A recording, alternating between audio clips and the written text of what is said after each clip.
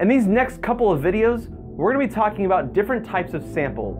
In this video in particular, we're going to be focusing on anecdotal evidence. So let's get started.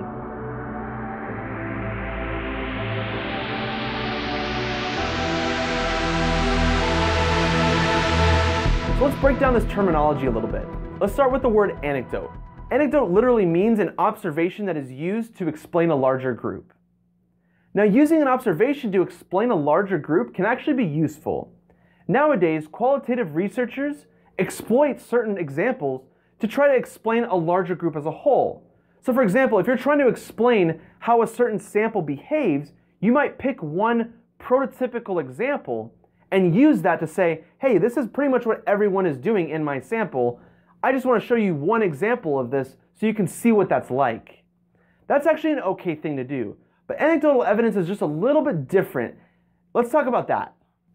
Anecdotal evidence is when you use an observation as an inference. Basically, you're just using a sample size of one. And that could be really, really dangerous. Now, let me explain the differences between these two things that we've talked about so far. If you take a sample that has, you know, a large sample and you use one thing in that sample as like your prototypical example of your sample, that's okay because you've gathered a sample, you've analyzed that whole sample, and you're trying to find like a perfect example that represents your sample.